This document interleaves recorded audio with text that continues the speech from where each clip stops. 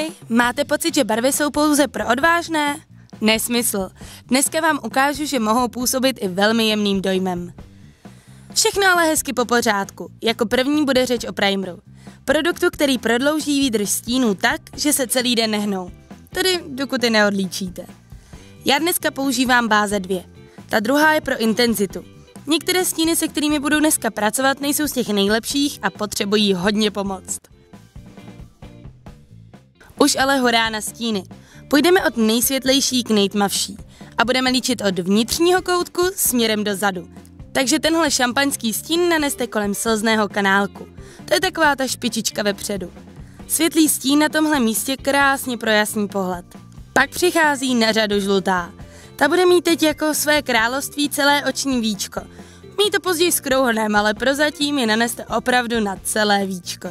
Já, protože se tahle potvora nechce ztrácet a i s intenzitou je to bledé, nanesu přes ní ještě druhou žlutou. Tváří se sice, že je světlejší, ale poslouží dobře. Stín klidně můžete nanášet prsty, pokud se štětcem z ní ne a ne vydolovat tu požadovanou intenzitu. Pokračujeme dál v duze, a to růžovou. Tou právě okousneme kus žlutého pozemku na víčku. Hranicí nám bude duhovka. Co je nad vnější částí bělma, bude nyní růžové království. Naprosto jednoduché. Stín malinko vytáhněte i do očního dolku nad žlutou, ale opatrně. Maximálně tak do půlky oka. Tady právě pracujeme na tom, že líčení nebude nápadné, nebude tolik bláznivé, protože to, co je vidět při otevřených očích, bude velmi decentní. Mezi žlutou a růžovou patří oranžová, takže ani to nesmíme vynechat na očích. Prstem jen ťupkejte kolem místa, kde se mají barvy potkat a stíny přechod sami vytvoří. Maximálně budete muset nanést znovu trošku té růžové či žluté, ale jinak by to měla být brnkačka. Pro měkčí přechody a více nenápadný vzhled všechny okraje směrem ven ztratím štětcem. Tohle moc prsty neuděláte, nebo rozhodně ne tak dokonale. Takže jeden takovýhle štětec doma opravdu doporučuji mít.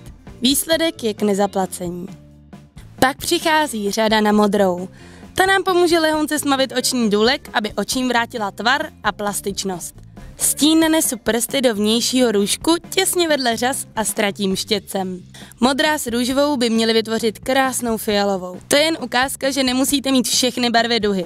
Stačí vám jen primární barvy, že ostatní si namícháte. Modrou pokračuji i na spodní lince, kde na ní navážu tyrkysovou. Nejlépe se dvě barvy do sebe vpíjí tak, že tou jednou vždy maličku přetáhnete na území té druhé. A zase naopak. Takhle dosáhnete jemného přechodu.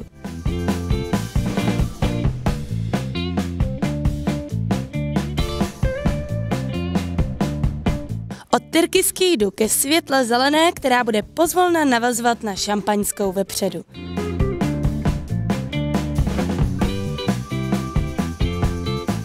Spodní linku do půlky zahalím do modré, protože chci na barvy více upozornit. Pokud se barev trošku bojíte, nechte linku prázdnou nebo ji probuďte pleťovou či bílou tuškou. Co ještě funguje na sklidnění takového luku je linka. Tenonká linka, která zakryje barvy při otevřených očích a navíc je od očí oddělí, takže nebudou dělat takový ten unavený nebo nemocný dojem.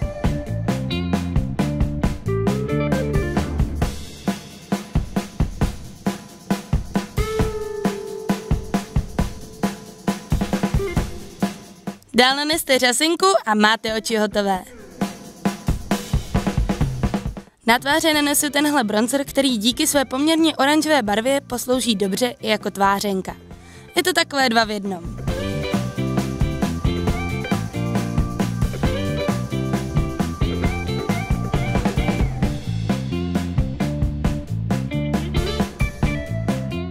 Místo rozjasňovače nanesu ty šampaňské stíny ze začátku tutoriálu a můžu se přesunout na rty. Tam máte ruku naprosto volnou. Já se držím při zemi a nejdřív zkouším hezkou tlumenou jahodovou rtinku. Ale nakonec přes ní dám vrstvu nahotiny a výsledek podle mě vypadá skvěle. A vy musíte uznat, že tyhle oči, ačkoliv je na nich celá duha, nepůsobí zas až tak bláznivě a v klidu se dají provětrat někam na den. No a ne, když už je to léto,